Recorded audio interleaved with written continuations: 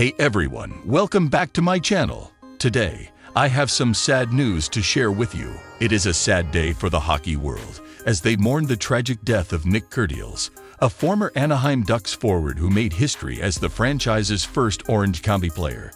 Kerdiles passed away on Saturday, September 23, at the young age of 29, after being involved in a motorcycle accident in Nashville, Tennessee. According to TMZ, Kerdiles was riding his motorcycle when he ran through a stop sign and crashed into the side of a BMW sedan around 3.30 a.m. He suffered severe injuries and was rushed to a nearby hospital, where he was pronounced dead shortly after his arrival. Kerdiles was born on January 11, 1994, in Lewisville, Texas, but he moved to Irvine, California with his family when he was two years old. He developed a passion for hockey at the age of six and joined the Junior Ducks program, where he excelled as a player. He attended Servite High School and played for the U.S. National Development Team program. He then went on to play college hockey for the University of Wisconsin, where he helped the team win the WCHA championship in 2013. He was drafted by the Anaheim Ducks in the second round of the 2012 NHL entry draft making him the first player from Orange County to be selected by the team and fulfilling his childhood dream.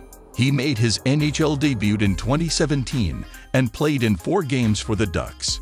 He also played for the San Diego Gulls, the Winnipeg Jets, and the Manitoba Moose in his professional career. He was known for his speed, skill, and versatility on the ice.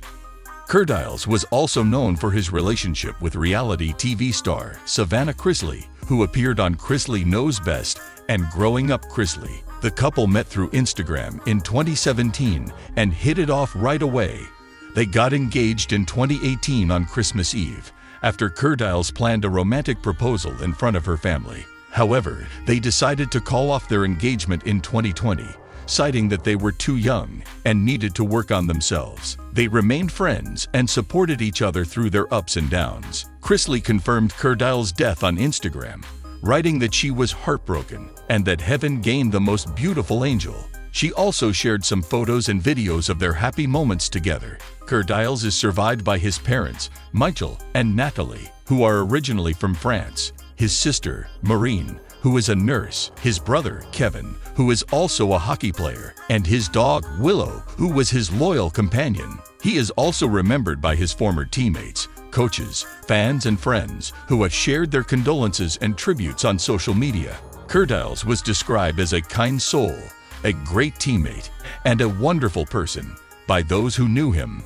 He had a positive impact on everyone he met and touched many lives with his generosity and kindness. He will be greatly missed by all who loved him. Rest in peace, Nic Kerdiles. And if you have any suggestions for future videos, feel free to share them with me. Thank you so much for watching, and I'll see you in the next one. Bye.